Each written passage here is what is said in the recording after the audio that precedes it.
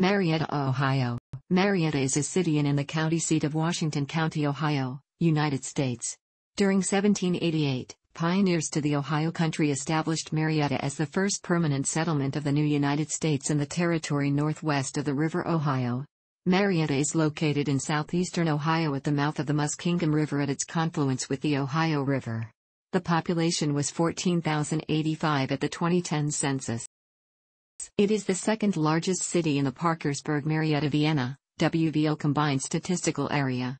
The private, non-sectarian liberal arts Marietta College is located here. It was a station on the Underground Railroad before the Civil War. Marietta is also the site of the prehistoric Marietta Earthworks, a Hopewell complex more than 1,500 years old, whose Great Mound and other major monuments were preserved by the earliest settlers in parks such as the Mound Cemetery. Marietta is located at 39.420.824, minus 81.450506. According to the United States Census Bureau, the city has a total area of, of which is land and is water. The Muskingum River and Duck Creek flow into the Ohio River at Marietta. The area is part of the Appalachian Plateau which covers the eastern half of Ohio. The Appalachian Plateau consists of steep hills and valleys and is the most rugged area in the state. The area is within the ecoregion of the western Allegheny Plateau. This portion of the state is blessed with beautiful scenery and Ohio's most abundant mineral deposits. The climate in this area is characterized by humid summers, cold winters, and evenly distributed precipitation throughout the year. According to the Köppen climate classification system, Marietta has a humid continental climate, abbreviated DFA on climate maps. Succeeding Indian cultures lived along the Ohio River and its tributaries for thousands of years.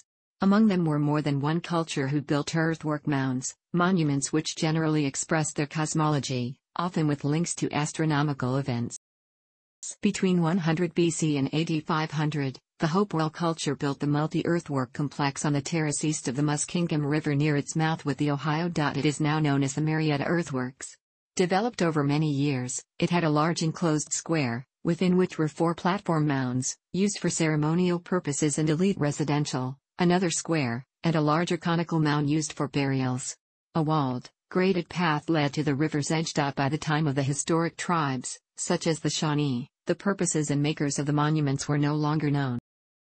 French explorers entered this area in the 18th century, and in 1749 buried numerous leaden plates to mark their claim to the Ohio country, which they called Illinois Territory, as they had more settlements near the Mississippi River. They later ceded their territory east of the Mississippi to Great Britain after the French and Indian War. Two of their plates were discovered in the Marietta area in 1798 and one was replicated for what is known as the French Monument, erected in the 20th century. See photo at right. In 1770, the future U.S. President George Washington, then a surveyor, began exploring large tracts of land west of his native Virginia. During the Revolutionary War, Washington told his friend General Rufus Putnam of the beauty he had seen in his travels through the Ohio Valley and of his ideas for settling the territory. After the American Revolutionary War, the United States sold or granted large tracts of land to stimulate development in this area. Marietta was founded by settlers from New England who were investors in the Ohio Company of Associates. It was the first of numerous New England settlements in what was then the Northwest Territory. These New Englanders, or Yankees as they were called, were descended from the Puritan English colonists who had settled New England in the 1600s and were primarily Congregationalists. The first church constructed in Marietta was a Congregationalist church, founded around 1786.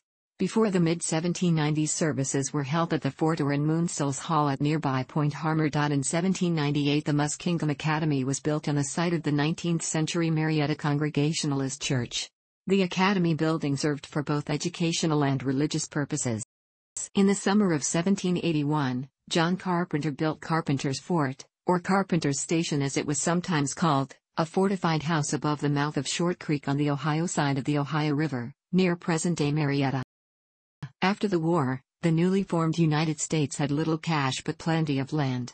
Eager to develop additional lands, the new government decided to pay veterans off the Revolution with warrants for land in the Northwest Territory, which was organized under federal authority in 1787 by the Northwest Ordinance. Competing states had agreed to end their claims to the lands, Pennsylvania and Virginia received some lands in a settlement. Arthur St. Clair was appointed by the President as governor of the new territory. The Ohio Company of Associates had supported provisions in the ordinance to allow veterans to use their warrants to purchase the land. They bought 1.5 million acres, 6,100 square kilometers, of land from Congress. On April 7, 1788, 48 men of the Ohio Company of Associates, led by General Putnam, arrived at the confluence of the Muskingum and Ohio rivers. The site was on the east side of the Muskingum River, across from Fort Harmar, a military outpost built three years prior. Bringing with them the first government sanctioned by the U.S. for this area, they established the first permanent United States settlement in the Northwest Territory.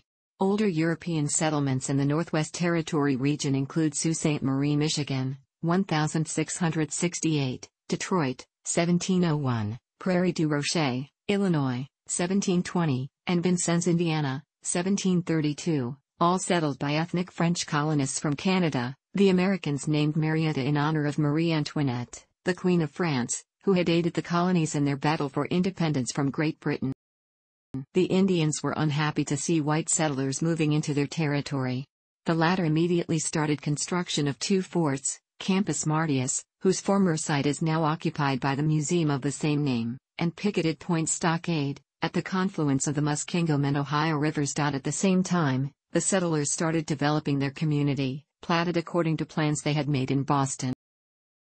In 1788, George Washington said, The families of the settlers began arriving within a few months.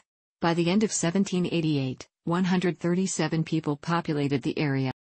In 1789, the United States signed the Treaty of Fort Harmar with several Indian tribes that occupied areas of the Northwest Territory, to settle issues related to trade, as well as the boundary between their lands and United States settlement.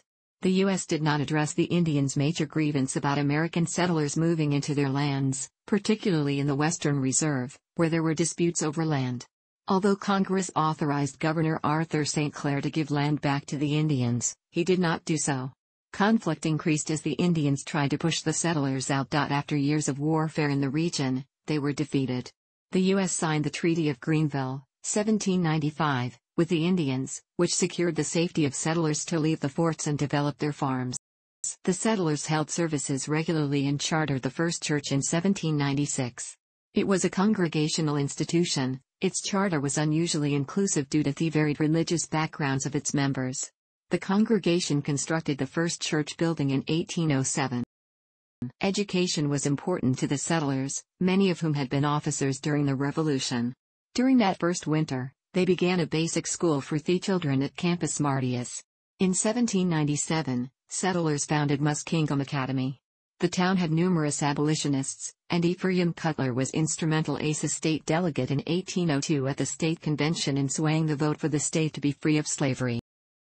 Townspeople organized and chartered Marietta College in 1835. It was used as a station on the Underground Railroad to help slaves escape from the South. Ohio University was founded earlier in Athens, on land reserved for public education under the Northwest Ordinance. The settlers preserved the Great Mound, or Conus, by planning their own cemetery around it. They also preserved the two largest platform mounds, which they called Capitolinus and Quadrifinus. The former was developed as the site for the city library. As of 1900, the Mound Cemetery had the highest number of burials of Revolutionary War officers in the nation, indicating the nature of the generation that settled Marietta. Marietta's location on two major navigable rivers made it ideal for industry and commerce. Boat building was one of the early industries. Artisans built ocean-going vessels and sailed them downriver to the Mississippi and south to New Orleans and the Gulf of Mexico. In less than two decades after settlement, the steamboat had been developed, and was also constructed here.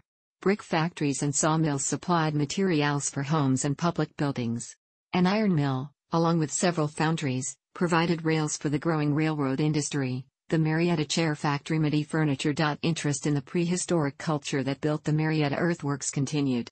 The complex was surveyed and drawn by Ephraim George Squier and Edwin Hamilton Davis whose large project on numerous prehistoric mounds throughout the Ohio and Mississippi valleys was published by the Smithsonian Institution in 1848 as Ancient Monuments of the Mississippi Valley. It was the first book published by the Smithsonian.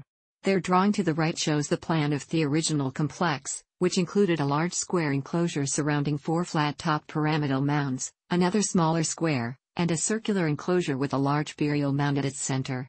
The walled, graded path, called by the settlers the Sacra Via, led from the largest enclosure to the lower river's edge. This pathway was destroyed in 1843 during mid-19th century development. Local development began with the Belpre and Cincinnati Railroad, B&C, it was founded in 1845. It was intended to connect from Belpre, Ohio, the next town downriver, to a planned Baltimore and Ohio Railroad, B&O, spur to Parkersburg. But, for years, the Virginia government did not allow B&O to construct tracks south of Wheeling. In 1851 developers changed the Ohio State terminus to Marietta and changed the name of the railroad to the Marietta and Cincinnati Railroad that year. The right-of-way for an alternate connection to the B&O extended upriver from Marietta to Bellaire, Ohio. The M&C was bankrupt by 1857, but construction of track continued west to reach Cincinnati. The first through train from Cincinnati ran on April 9, 1857. The M&C got out of bankruptcy in 1860. In 1871, the Ohio Valley Railroad was formed and for the next two years built tracks going north for 103 miles. Their home office was in Marietta, with treasurer offices in Pittsburgh. The Ohio Valley Railroad was reorganized as the Marietta and Cleveland. The Pennsylvania Railroad in its expansion ladder purchased the railroad and its right-of-way between Marietta and Bellaire. Passengers traveling between Marietta and Parkersburg, Virginia, now West Virginia, had to take a steamboat for the 14 miles between the two towns and transfer. With help from the B&O and the Baltimore City Council, the Union Railroad finally connected Marietta to Belpre, Ohio in 1860. Later absorbed by the B&O, this section of track is still in operation, 2008, with unit coal trains providing most of the traffic. The planned bridge from Parkersburg across the Ohio River to Belpre was finally built 1868 to 1870 by the B&O, as part of its main line from Baltimore to St. Louis, Missouri. This cut Marietta off from traffic and trade, although it retained local and Ohio service. In the early 20th century, 24 passenger trains served Marietta each day, most of which ran on the PRR tracks. William P. Cutler was a major figure in the M&C. He also backed the Union Railroad and the Marietta, Columbus, and Cleveland Railroad, among other local railroads. Cutler served as general manager and as president of the M&C for many years. In 1860, oil was first drilled in the Marietta region. Oil booms in 1875 and 1910 made investors rich, who constructed numerous lavish houses in town, of which many still stand.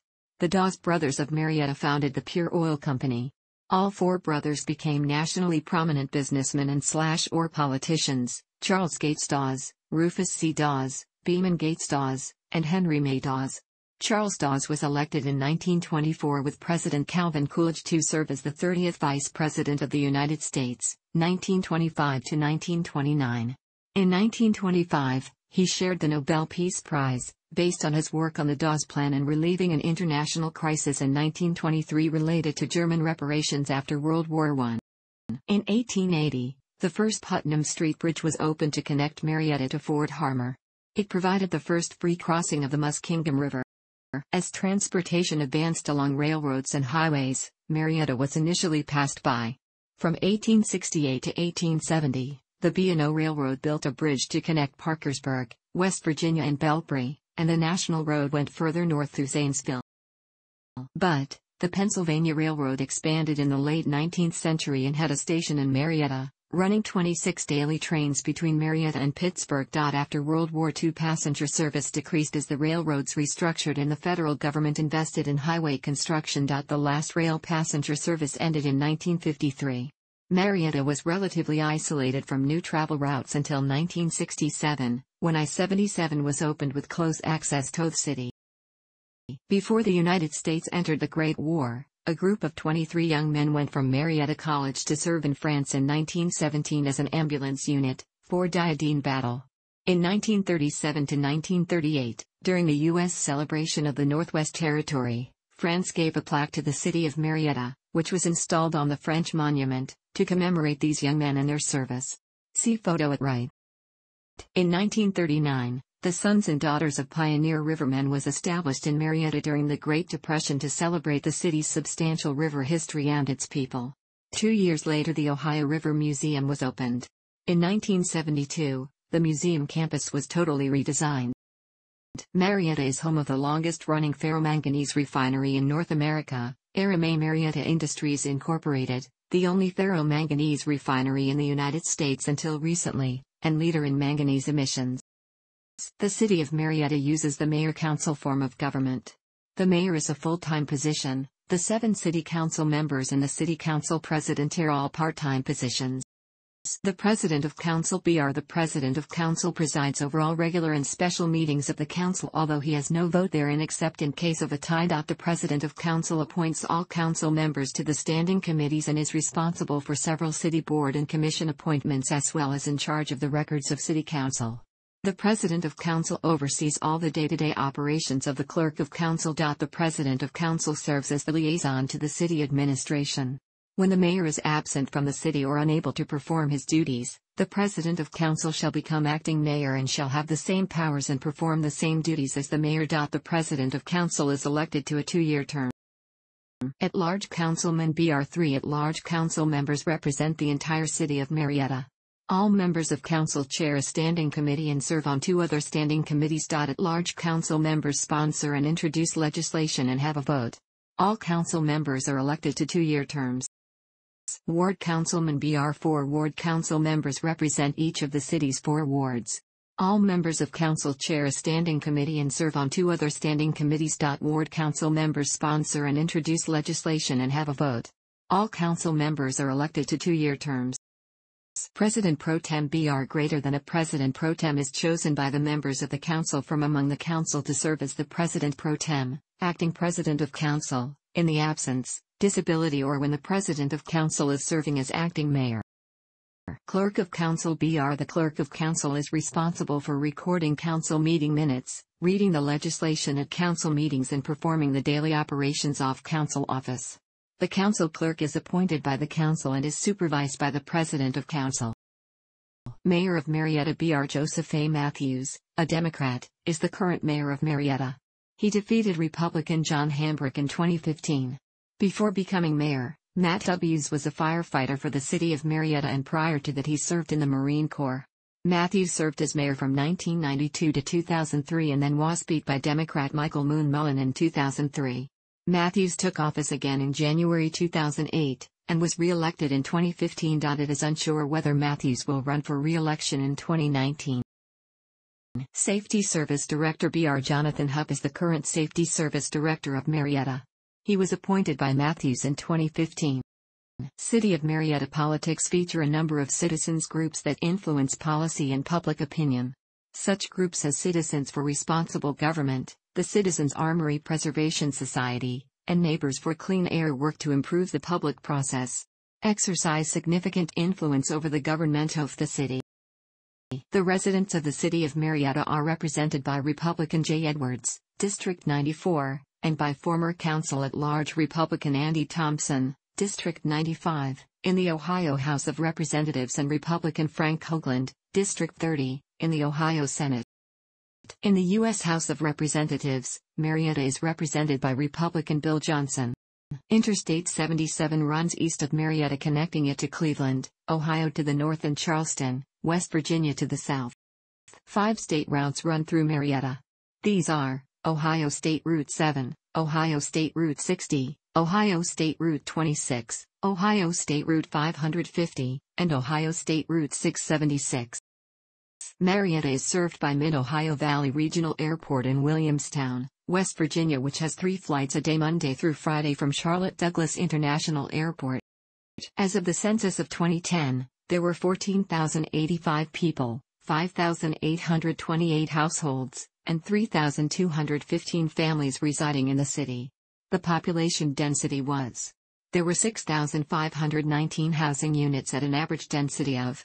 The racial makeup of the city was 94.9% white, 1.3% African American, 0.3% Native American, 1.4% Asian, half a percent from other races, and 1.5% from two or more races. Hispanic or Latino of any race were 1.1% of the population.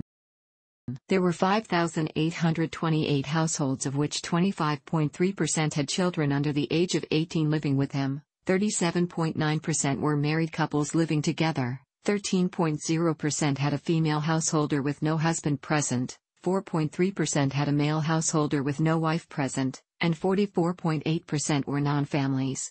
37.4% of all households were made up of individuals and 15.7% had someone living alone who was 65 years of age or older. The average household size was 2.14 and the average family size was 2.80. The median age in the city was 39 years. 18.9% of residents were under the age of 18, 16% were between the ages of 18 and 24, 21.1% were from 25 to 44, 25.7% were from 45 to 64, and 18.4% were 65 years of age or older. The gender makeup of the city was 46.9% male and 53.1% female. As of the census of 2000, there were 14,515 people, 5,904 households, and 3,501 families residing in the city. The population density was 1,747.0 people per square mile, 674.4 per square kilometer. There were 6,609 housing units at an average density of 795.4 per square mile, 307.1 per square kilometer.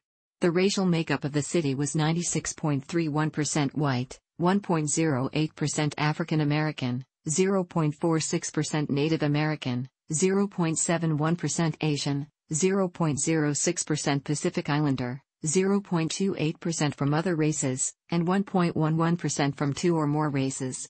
Hispanic or Latino of any race were 0.79% of the population. There were 5,904 households out of which 27.2% had children under the age of 18 living with him, 42.4% were married couples living together, 13.1% had a female householder with no husband present, and 40.7% were non-families. 35.1% of all households were made up of individuals and 14.6% had someone living alone who was 65 years of age or older. The average household size was 2.21 and the average family size was 2.86.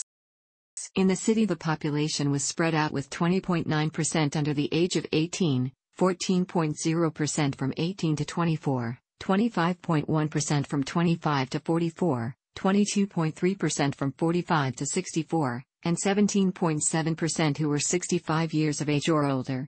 The median age was 38 years. For every 100 females, there were 87.1 males. For every 100 females age 18 and over, there were 82.8 males. The median income for a household in the city was $29,272, and the median income for a family was $36,042. Males had a median income of $30,683 versus $22,085 for females. The per capita income for the city was $18,021. About 13.6% of families and 16.9% of the population were below the poverty line, including 24.6% of those under age 18 and 10.4% of those age 65 or over. Eramet has released thousands of pounds of manganese and other hazardous air pollutants into the air. The Marietta City School District operates four elementary schools, one middle school, and Marietta High School. Marietta has a public library, a branch of the Washington County Public Library. Thanks for watching. Don't forget like the video and don't forget to subscribe.